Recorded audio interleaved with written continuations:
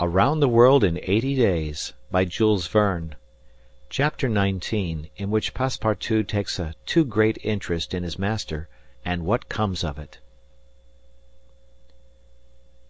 Hong Kong is an island which came into the possession of the English by the Treaty of Nankin after the War of 1842, and the colonizing genius of the English has created upon it an important city and an excellent port. The island is situated at the mouth of the Canton river, and is separated by about sixty miles from the Portuguese town of Macao on the opposite coast. Hong Kong has beaten Macao in the struggle for the Chinese trade, and now the greater part of the transportation of Chinese goods finds its depot at the former place. Docks, hospitals, wharves, a Gothic cathedral, a government house, macadamized streets, give to Hong Kong the appearance of a town in Kent or Surrey, transformed by some strange magic to the Antipodes. Passepartout wandered, with his hands in his pockets, towards the Victoria port, gazing as he went at the curious palanquins and other modes of conveyance, and the groups of Chinese, Japanese, and Europeans who passed to and fro in the streets. Hong Kong seemed to him not unlike Bombay, Calcutta, and Singapore, since, like them, it betrayed everywhere the evidence of English supremacy. At the Victoria port he found a confused mass of ships of all nations English, French, American, and Dutch men of war and trading vessels, Japanese and Chinese junks, sempas, tankas, and flower boats, which formed so many floating parterres. Passepartout noticed in the crowd a number of the natives, who seemed very old and were dressed in yellow. On going into a barber's to get shaved, he learned that these ancient men were all at least eighty years old, at which age they are permitted to wear yellow, which is the imperial colour. Passepartout, without exactly knowing why, thought this very funny.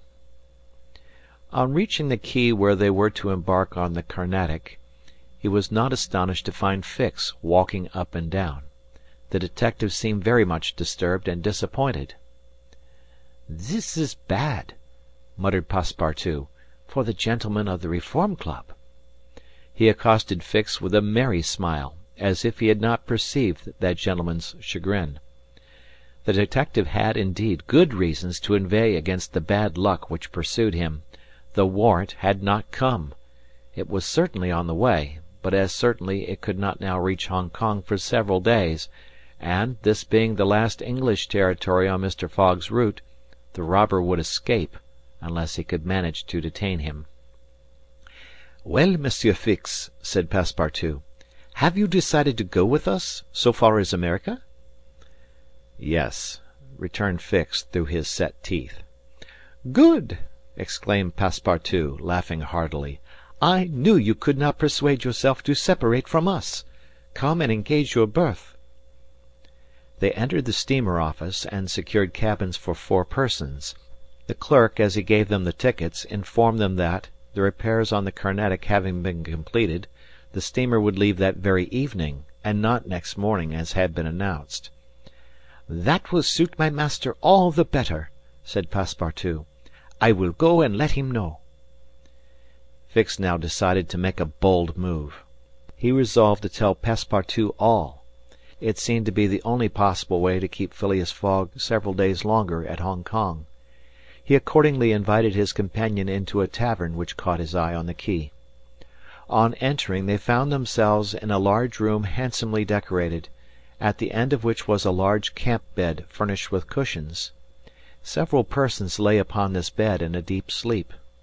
At the small tables which were arranged about the room some thirty customers were drinking English beer, porter, gin, and brandy, smoking the while long red clay pipes stuffed with little balls of opium mingled with the essence of rose.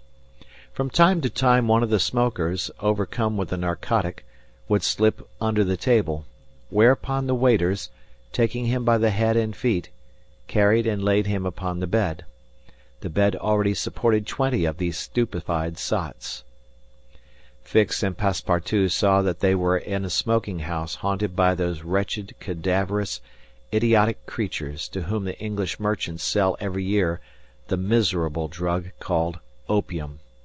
to the amount of one million four hundred thousand pounds thousands devoted to one of the most despicable vices which afflict humanity. The Chinese government has in vain attempted to deal with the evil by stringent laws. It passed gradually from the rich, to whom it was at first exclusively reserved, to the lower classes, and then its ravages could not be arrested. Opium is smoked everywhere at all times, by men and women in the Celestial Empire, and, once accustomed to it, the victims cannot dispense with it, except by suffering horrible bodily contortions and agonies. A great smoker can smoke as many as eight pipes a day, but he dies in five years. It was in one of these dens that Fix and Passepartout, in search of a friendly glass, found themselves. Passepartout had no money, but willingly accepted Fix's invitation in the hope of returning the obligation at some future time. They ordered two bottles of port, to which the Frenchman did ample justice, whilst Fix observed him with close attention. They chatted about the journey, and Passepartout was especially merry at the idea that Fix was going to continue it with them. When the bottles were empty, however, he rose to go and tell his master of the change in the time of the sailing of the Carnatic. Fix caught him by the arm and said: "Wait a moment." "What for, Mr. Fix?" I want to have a serious talk with you." "A serious talk!" Cried Passepartout, drinking up the little wine that was left in the bottom of his glass. "Well, we'll talk about it to morrow. I haven't time now." "Stay. What I have to say concerns your master." Passepartout, at this, looked attentively at his companion. Fix's face seemed to have a singular expression. He resumed his seat. What is it that you have to say?" Fix placed his hand upon Passepartout's arm, and, lowering his voice, said: "You have guessed who I am?" "Parbleu!" said Passepartout, smiling. "Then I'm going to tell you everything." "Now that I know everything, my friend ah, that's very good. but go on, go on. First, though, let me tell you that those gentlemen have put themselves to a useless expense." "Useless?" said Fix. "You speak confidently. It's clear that you don't know how large the sum is." "Of course I do," returned Passepartout. "Twenty thousand pounds." "Fifty five thousand," answered Fix, pressing his companion's hand. "What!" cried the Frenchman. "Has Monsieur Fogg dared? Fifty five thousand pounds! Well, there's all the more reason for not losing an instant," he continued, getting up hastily. Fix pushed Passepartout back in his chair and resumed. "Fifty five thousand pounds, and if I succeed I get two thousand pounds. If you'll help me, I'll let you have five hundred of them." "Help you!" cried Passepartout, whose eyes were standing wide open. "Yes. Help me keep Mr. Fogg here for two or three days." "Why, what are you saying? Those gentlemen are not satisfied with following my master and suspecting his honour, but they must try to put obstacles in his way. I blush for them." "What do you mean?" "I mean that it is a piece of shameful trickery. They might as well waylay Mr. Fogg and put his money in their pockets." "That's just what we count on doing." "It's a conspiracy, then!" cried Passepartout, who became more and more excited as the liquor mounted in his head, for he drank without perceiving it. "A real conspiracy! And gentlemen, too! Bah!" Fix began to be puzzled. "Members of the Reform Club," continued Passepartout, "you must know, Monsieur Fix, that my master is an honest man, and that, when he makes a wager he tries to win it fairly." "But who do you think I am?" asked Fix, looking at him intently.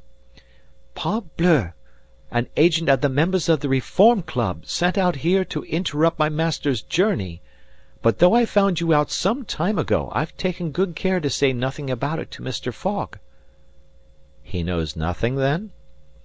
"Nothing," replied Passepartout, again emptying his glass. The detective passed his hand across his forehead, hesitating before he spoke again. What should he do? Passepartout's mistake seemed sincere, but it made his design more difficult.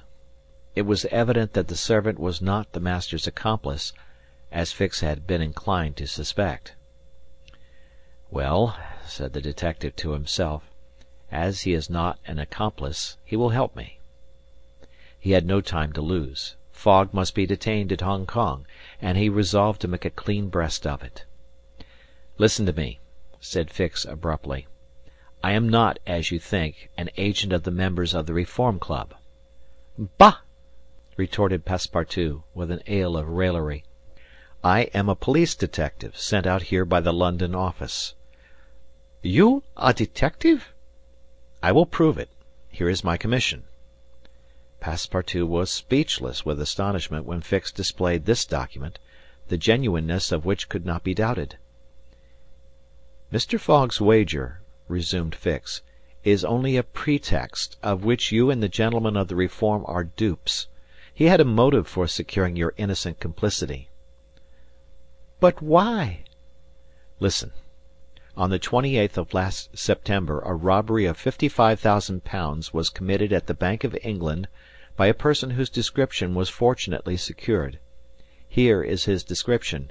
It answers exactly to that of Mr. Phileas Fogg." "What nonsense!" cried Passepartout, striking the table with his fist. My master is the most honorable of men." "How can you tell? You know scarcely anything about him. You went into his service the day he came away, and he came away on a foolish pretext, without trunks, and carrying a large amount in bank notes. And yet you are bold enough to assert that he is an honest man." "Yes, yes," repeated the poor fellow, mechanically. "Would you like to be arrested as his accomplice?" Passepartout, overcome by what he had heard, held his head between his hands, and did not dare to look at the detective. Phileas Fogg, the saviour of Aouda, that brave and generous man, a robber! And yet how many presumptions there were against him! Passepartout essayed to reject the suspicions which forced themselves upon his mind. He did not wish to believe that his master was guilty. "Well! What do you want of me?" said he, at last, with an effort. "See here," replied Fix. "I have tracked Mr. Fogg to this place, but as yet I have failed to receive the warrant of arrest for which I sent to London. You must help me to keep him here in Hong Kong."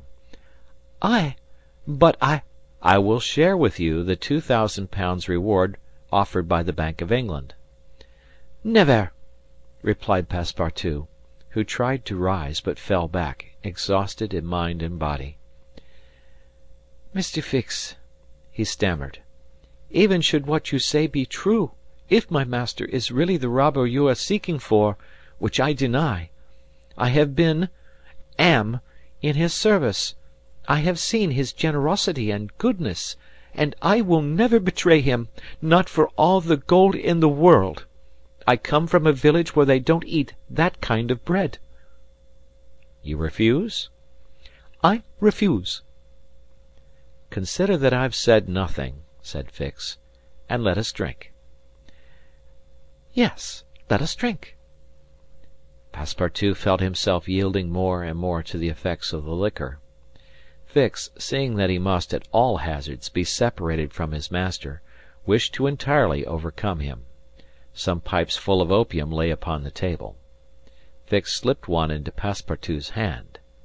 He took it, put it between his lips, lit it, drew several puffs, and his head, becoming heavy under the influence of the narcotic, fell upon the table.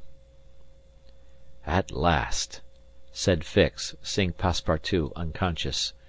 "Mr. Fogg will not be involved of the Carnatic's departure, and if he is, he will have to go without this cursed Frenchman and, after paying his bill, Fix left the tavern.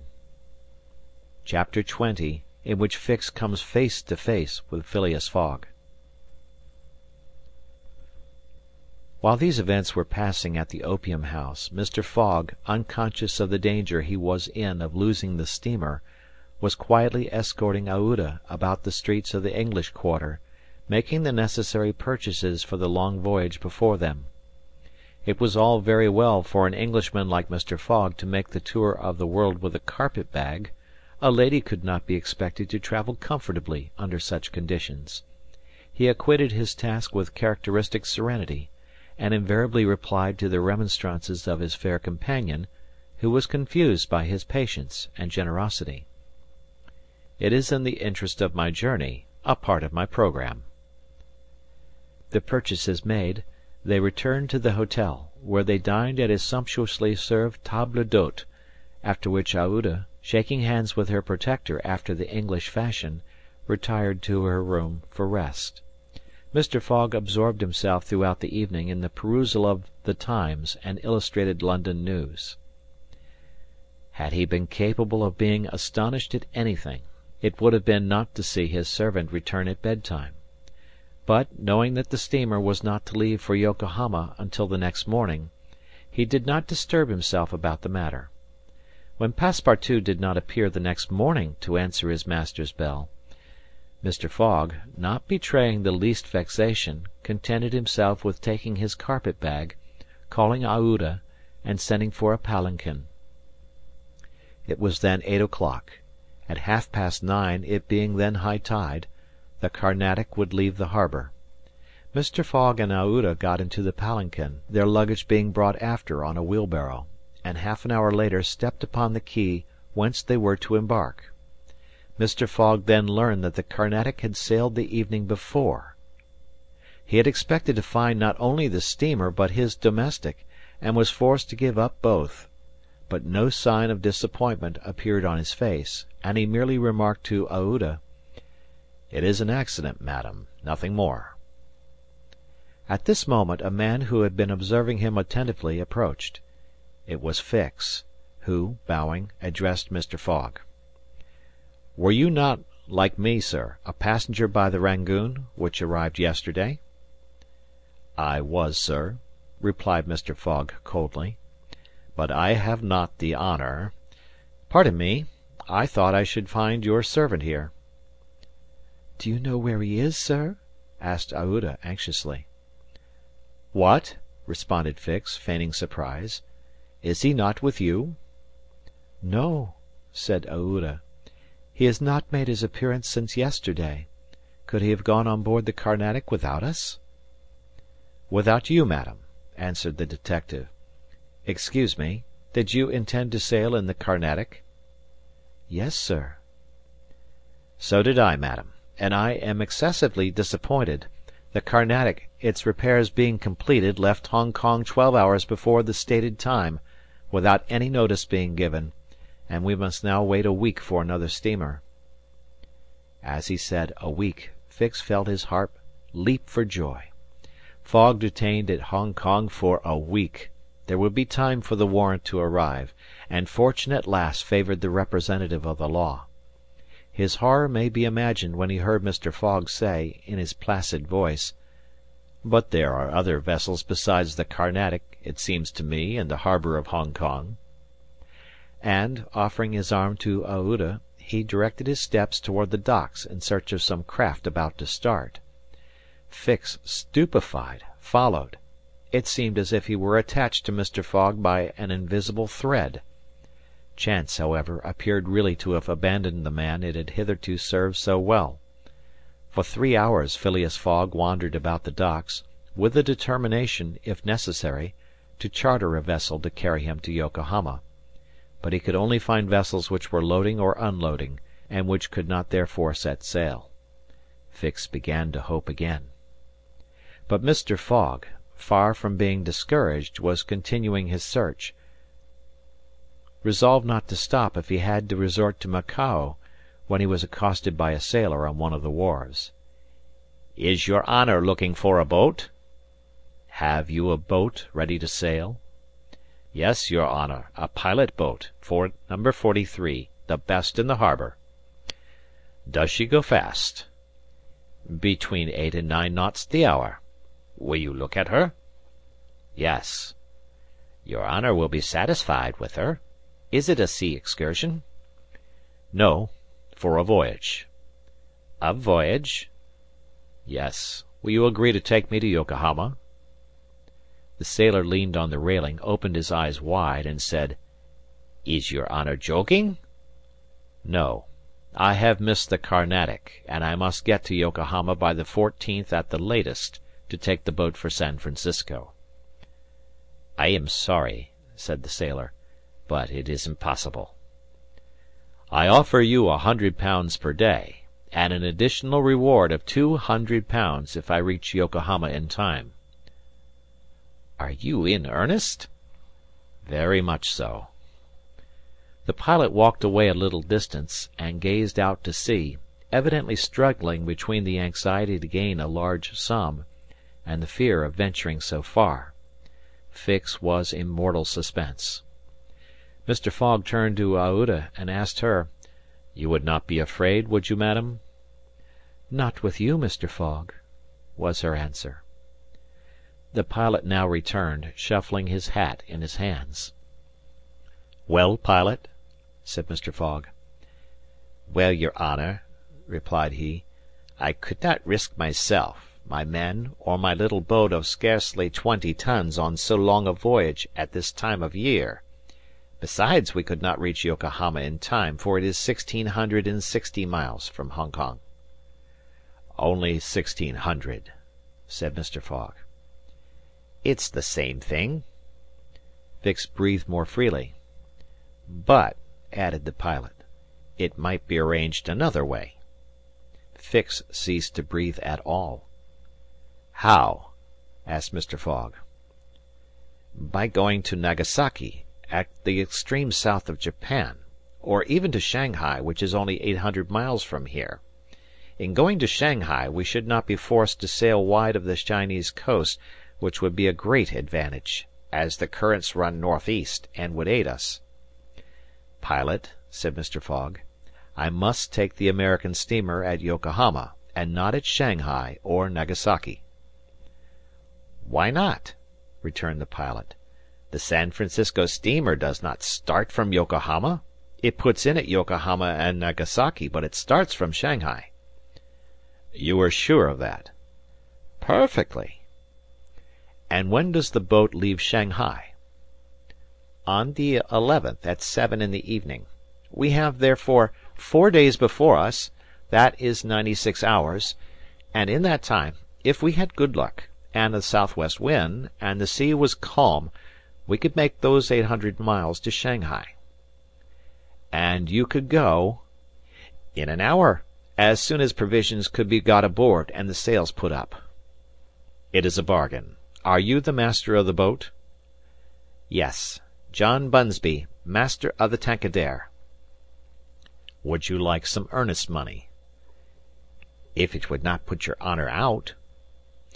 "Here are two hundred pounds on account, sir," added Phileas Fogg, turning to Fix, "if you would like to take advantage." "Thanks, sir. I was about to ask the favour."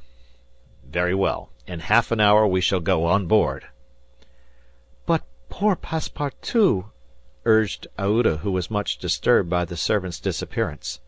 "I shall do all I can to find him," replied Phileas Fogg. While Fix, in a feverish, nervous state, repaired to the pilot boat, the others directed their course to the police station at Hong Kong. Phileas Fogg there gave Passepartout's description, and left a sum of money, to be spent in the search for him. The same formalities having been gone through at the French consulate, and the palanquin having stopped at the hotel for the luggage, which had been sent back there, they returned to the wharf.